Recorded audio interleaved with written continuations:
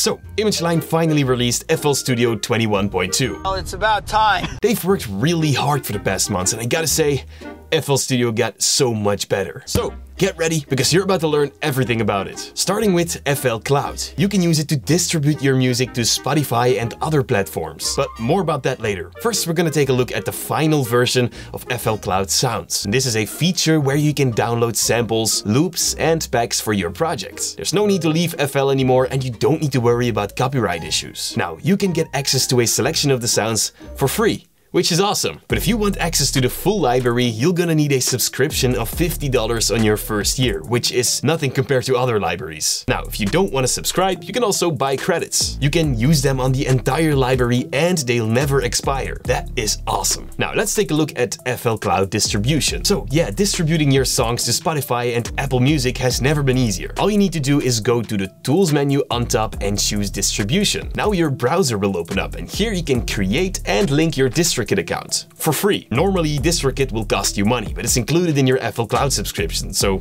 yeah, Awesome. Oh, and real quick, I have a free download for you guys. My friend at Mixelite sent me this sheet that contains years of music production experience, all of that on one page. From powerful chord progressions to amazing scales, and a frequency cheat sheet that will help you create amazing music. Now, besides that, you can also get a free trial to the Mix Elite membership, so you can learn music production from the pros. I'll leave a link for you down below. Now, let's move on to the FL Cloud mastering tool. When you're done with your project, go to the file menu on top and then choose Export. In this menu, look for the Master feature. Once it's open, give your track a name, something like this. Then on the bottom, you will find the Mastering tool. You can choose to set the LUFS yourself, but if you click the drop-down menu on the right, you can choose your desired platform, for example Spotify. FL Studio will then automatically use the correct LUFS settings for your track. Now this is where the tool gets really powerful. You can use it to tell FL the genre you're making. FL Cloud will then use the best possible settings to master your track. Now you can always create a second reference track and let it find out the genre itself. When you're done, click on start. Now let FL Studio do its thing and when it's done, you can compare the original unmastered track with the two reference tracks you selected.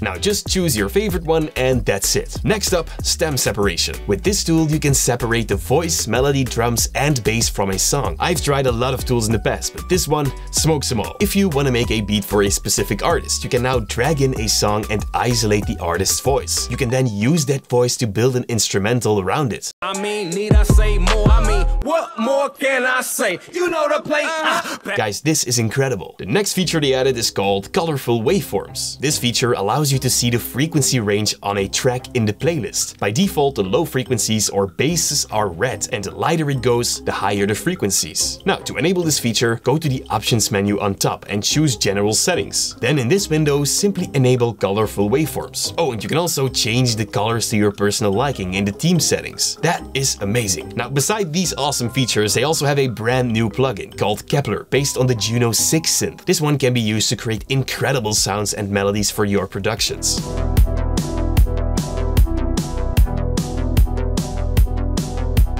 Definitely use your new cheat sheet when trying this plugin. Next, I want to show you some music production tips with these new features, and you can do that by clicking the video on my left. Thank you guys so much for watching. Goodbye.